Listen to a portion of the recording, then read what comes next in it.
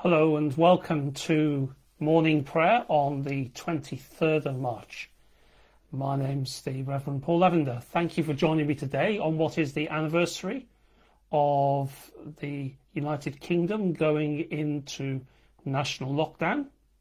And we're engaging and sharing today in the collective national act of remembrance and recollection uh, for this anniversary, marking this occasion, uh, both by looking back and also by looking forward with hope.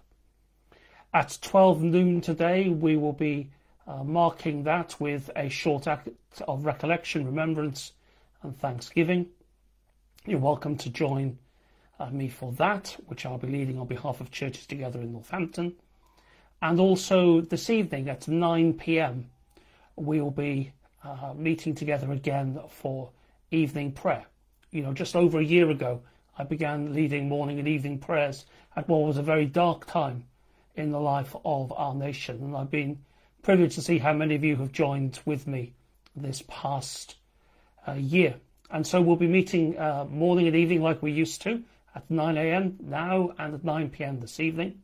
And after that, if anyone would like to, there's been a community, a small but significant community of people who've regularly met together and interacted and got to know one another.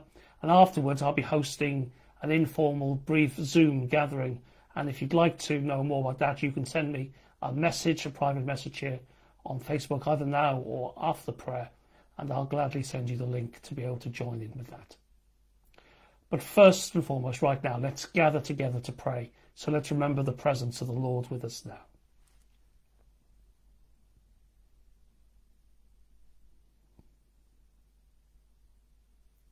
Psalm 121 I lift up my eyes to the hills.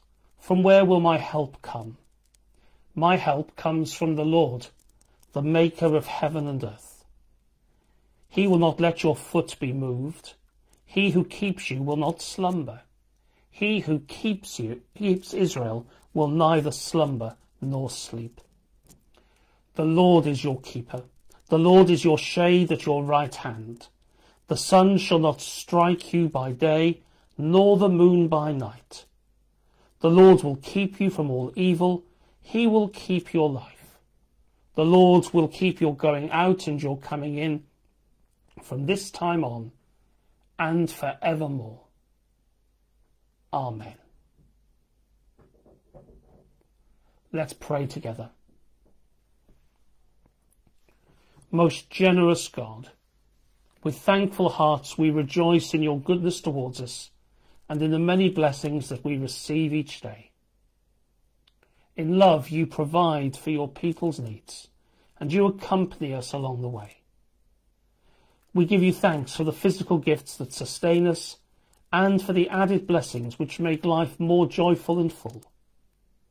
We rejoice that you freely pour out the perfume of your love, even though we are not worthy to receive it.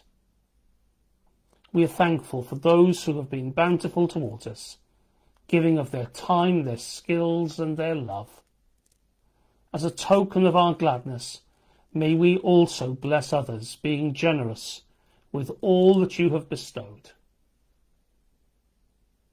Holy God, your word declares that you have taken away our iniquity and that you remember our sin no more. But we confess that we focus too much on ourselves and our failures, our feelings, and our merits that we choose to be consumed by our guilt and our shame, and refuse the salvation that you offer us freely through the gift of your Son, Jesus Christ. Forgive us when we forget the comfort of your love, our fellowship with your Spirit, and the tenderness and compassion you have called us to show to a world in need. Forgive us when we care so much about ourselves and what we want that we forget to love our neighbour and in so doing forget to love you. Almighty Father, take from us all hatred and prejudice and discord. Remind us that there is but one body and one spirit and one hope of our calling one Lord, one faith, one baptism, one God and Father of us all, so that we may truly be of one heart and of one soul, united in one holy bond of truth and peace, of faith and charity, and that with one mind and one mouth we may glorify you through Jesus Christ our Lord. So may Almighty God forgive us, pardon and deliver us from all our sins, give us time to amend our lives, and bring us the grace and the comfort of the Holy Spirit. Through Christ our Lord. Amen.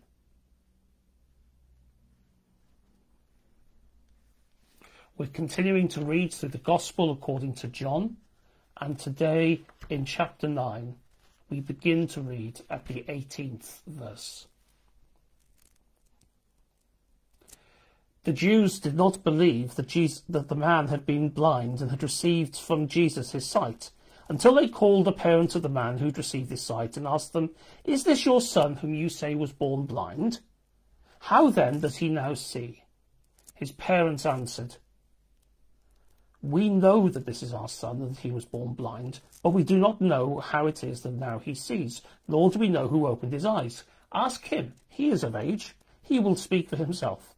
His parents said this because they were afraid of the Jews, for the Jews had already agreed that anyone who confessed Jesus to be the Messiah would be put out of the synagogue. Therefore his parents said, He is of age. Ask him. So for the second time they called the man who had been blind, and they said to him, Give glory to God. We know that this man is a sinner. He answered, I do not know whether he is a sinner. One thing I do know, once I was blind, but now I see. They said to him, What did he do to you? How did he open your eyes? He answered them, I have told you already, and you would not listen. Why do you want to hear it again?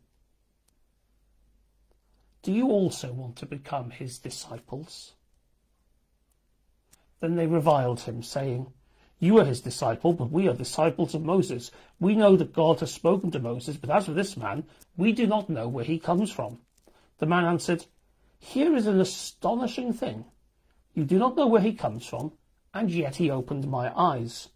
We know that God does not listen to sinners, but he does listen to one who worships him and obeys his will. Never since the world begun has it been heard that anyone opened the eyes of a person born blind. If this man were not from God, he could do nothing. They answered him, You were born entirely in sins, and are you trying to teach us? And they drove him out. Jesus heard that they had driven him out, and when he found him, he said, Do you believe in the Son of Man? He answered, And who is he, sir? Tell me, so that I may believe in him. Jesus said to him, You have seen him, and the one speaking with you is he. He said, Lord, I believe, and he worshipped him. Jesus said, I came into this world for judgment, so that those who do not see may see, and those who do see may become blind. Some of the Pharisees near him heard this and said, Surely we are not blind, are we? Jesus said to them, If you were blind, you would not have sin. But now that you say we see, your sin remains. Thanks be to God for his word. As I look out of my window this morning, I can see buds and blossoms appearing on the tree. I can see flowers in the ground around me. It's a beautiful scene. It's signs of new life. Now, the man who was born blind is in a similar way having his eyes opened to the beauty around him, not just of the earth, not just of people, but his eyes are being opened spiritually. You know, this man, like many of us, may not be able to answer the most profound theological questions, but he knew his own experience of the work of God through Jesus Christ in his life. And he was able to give proper testimony, sound testimony, accurate testimony of what had happened to him. And he knew who had done it. The new world, as seen through God's eyes, was opening up to him through his own renewed spiritual sight. And for you and for me, each day, it's a good thing to pray, Lord, let me see, let me see you more clearly, let me love you more dearly, and let me follow you more nearly, day by day. That lovely prayer, which many of us know in the musical form set to the music of Godspell, is a wonderful prayer which resonates with the experience of this man born blind who encountered Jesus, who was transformed by Jesus, and whose witness was to those around him of the difference that Jesus makes. The world opens up. We're able to interpret the world and what happens in the world more accurately as we see it from God's point of view. May that be our testimony as we enter this continued season of lockdown, even though things are beginning to open up again. That we may ask to see both with the eyes of faith, but also as Jesus works in our lives, we may interpret things from his point of view and so give glory to God. Let's confess our faith in the words of the Apostles' Creed. I believe in God, the Father Almighty, creator of heaven and earth. I believe in Jesus Christ, God's only Son, our Lord, who was conceived by the Holy Spirit, born of the Virgin Mary, suffered under Pontius Pilate, was crucified, died, and was buried. He descended to the dead. On the third day he rose again. He ascended into heaven and is seated at the right hand of the Father, and he will come to judge the living and the dead. I believe in the Holy Spirit the Holy Catholic Church, the communion of saints, the forgiveness of sins, the resurrection of the body, and the life everlasting. Amen. Now let's pray together. Loving and healing God, we turn to you in prayer, confident that you are with us and all people in every moment. We come before you as people of hope trusting in your care and protection. May your faithful love support us and soothe the anxiety of our hearts. Generous God, fill us with compassion and concern for others, young and old, that we may look after one another in these challenging days. Bring healing to those who are sick with the coronavirus. Be with their families. May those who have died rest in your eternal embrace comfort family and friends, strengthen and protect all medical professionals caring for the sick, and all those who work in our medical facilities. Give wisdom to leaders in healthcare and government, that they may make the right decisions for the well-being of all people. We pray with gratitude for all those in our country who continue to work on the front line, serving us and so many in different fields and walks of life. Bless them and keep them safe. O God of creation and life, we place them and ourselves into your protection, asking that the mantle of your peace would enfold us this and every day. God of healing and hope, in Jesus you meet us in our places of pain and fear. Look with mercy on those who have contracted the virus, Corona-19, on all who are vulnerable and all who feel in danger throughout our world. Through this time of global concern, by your Holy Spirit, bring out the best and not the worst in us. Make us more aware of our interdependence on each other and of the strength that comes from being one body in you. Through Christ, our wounded healer. Amen. Our Father in heaven, hallowed be your name. Your kingdom come, your will be done on earth as it is in heaven. Give us today our daily bread and forgive us our sins, as we forgive those who sin against us. And lead us not into temptation, but deliver us from evil. For the kingdom, the power, and the glory are yours now and forever. Amen. So, whatever wilderness the Spirit has brought you to, walk in boldness as a beloved child of God.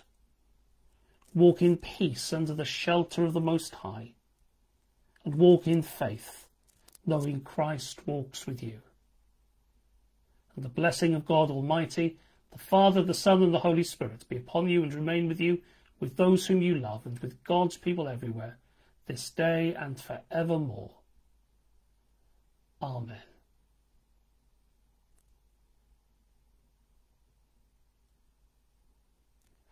God bless you today.